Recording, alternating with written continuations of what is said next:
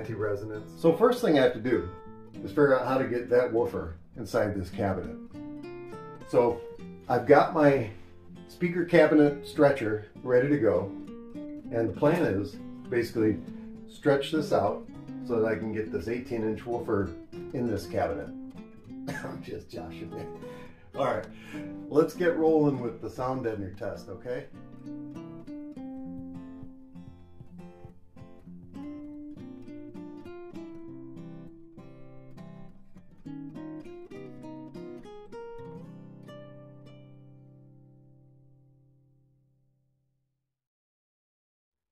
So here's my plan of action. I've got the cabinet, it's still bare on the inside, no insulation or anything. It's just the Siless sound deadener and the boom mat spray. So here's kind of my working plan is I want to test this cabinet um, without the drivers in it. I know I tested it with the drivers before, but I did get sound coming through the woofer as well as the port. So what I want to do this time, I'll leave the cabinet empty it's just got the Siless sound deadener pads and the boom mat spray. I'm going to turn upside down on this yoga mat and hopefully it'll you know kind of block some of the sound from coming out of the speaker cabinet. Then I'll mount the exciter externally and see if we can get this cabinet to sing.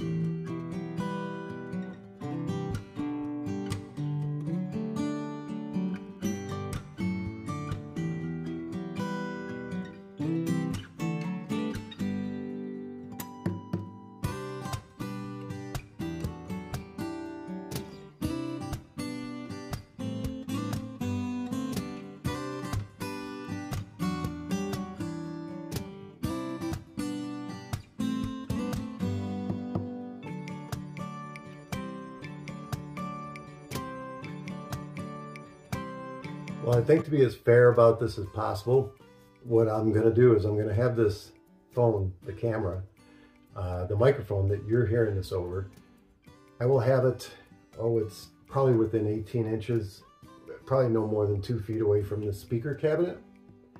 So you can see I've got the and mic set up. I've got the frequency software running. I've got an exciter mounted to the back panel of the speaker.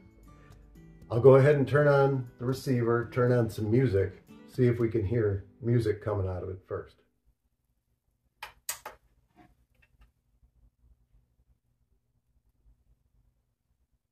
All right. There you go. I can hear it a little bit.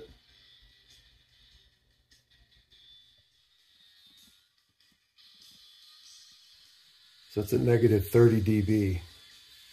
I'm sure you can hear from the sound of my voice that this isn't, not very loud at all. We are, we're introducing sound to this directly through the exciter.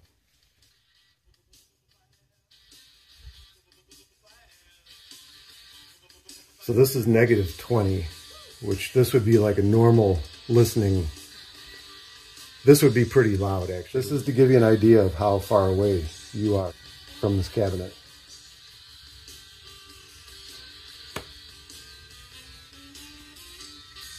So not very far.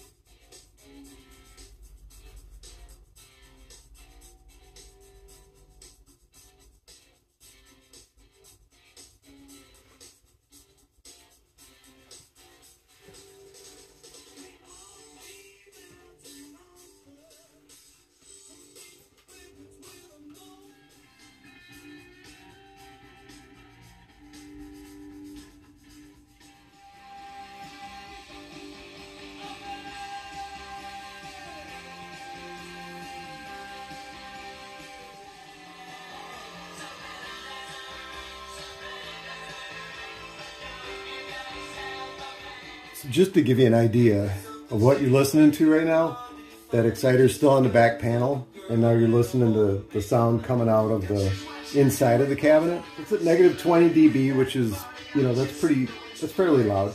The main thing I wanted to try to do with this is to see if I could make cabinets resonate.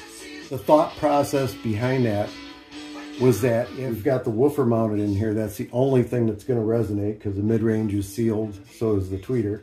So the idea being is that if that woofer can create enough high frequency resonance to make this cabinet kind of sing the way it is right now. You know, now we've heard what it sounds like. We'll go ahead and measure it and see how it measures. Now I will say that this is a flawed system. This is not, uh, this is definitely not super scientific. And as a matter of fact, I noticed something here uh, that this exciter actually does make noise by itself, it seems like. And I'll show you that. So it seems like this is actually making noise. I feel it vibrating.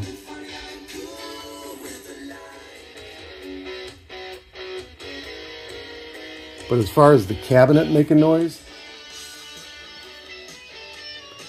we are right next to like the side. So I've got a little bit of an epiphany here. I'm going to try to isolate this exciter a little bit and cover it with an empty cardboard box. Put some, you know, blankets, pillows, whatever I can find on top of it, just to try to, you know, reduce any kind of uh, interference that we're hearing out of the back.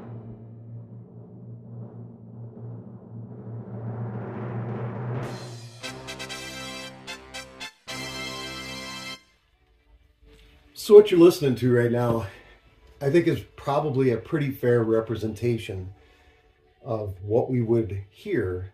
Uh, this is down by like at least 30 dB. You could tell by the sound of my voice how, you know, what the difference there is. Um, but playing music, I'm sure that this would be at least 30 dB quieter than the music that was playing. So as far as being a uh, huge audible uh, distraction or something like that. I don't really see that happening. Right now I'm measuring it on the most vulnerable panel on the speaker cabinet, which is the back panel. Uh, it's the largest. Thing. It's got the least amount of bracing and everything else. So what we're listening to right now is like worst case scenario. And keep in mind too, that this exciter is trying to operate over the entire frequency range as if it's a full range.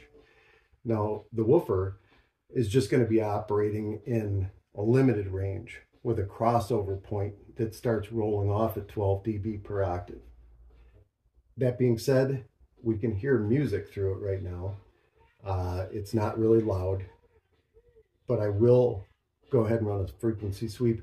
We'll find out where this cabinet really starts to resonate at. Well, to keep you in the thick of the action here, I've got it set up so that you can see the frequency sweep running you'll see the frequency graph. You see the mic is right next to the speaker cabinet. Uh, the volume setting, I'm going to go ahead and test it at negative 20 dB.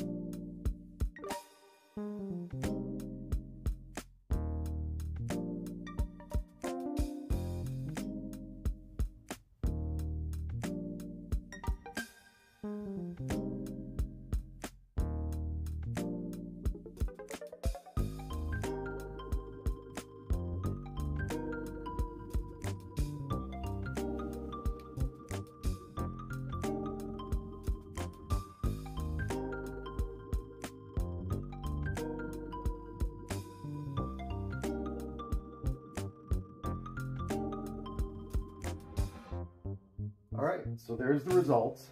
Uh, not super crazy, um, pretty quiet. You know, it's got some resonance. It kind of pops up from about, oh, say roughly 200. It starts making racket by about 280, almost 300. It's about as loud as it's going to get. And that carries through to about 450 there's a slight, you know, rise there. And then it kind of goes back down, picks up again around 700. So hopefully everything past, say, this point here, uh, probably close to this point where it's dipping down actually. The woofer will be rolling off at 12 dB per octave. Um, I think that I've demonstrated that we can make a cabinet uh, make noise, sing, by introducing a direct frequency through an exciter. I don't think that that's very representative of the real world. I don't think that the back of a woofer creating sound pressure is going to concentrate and focus it the way that that exciter does to the point where it would resonate so much. But nonetheless, I've demonstrated kind of what would be a worst case scenario. I can go ahead and hook up the crossover to the woofer. And again, see where we're at. That would be especially important to see against this because we would know if it's going to be a huge problem or not. You know, if it's if it's crossing over, it's rolling over nice, then you know anything beyond that green mark shouldn't even matter. Um, the next test after that would be putting the insulation in the box with the woofer with the crossover. And, you know, ultimately, all the drivers should be hooked up to the crossover.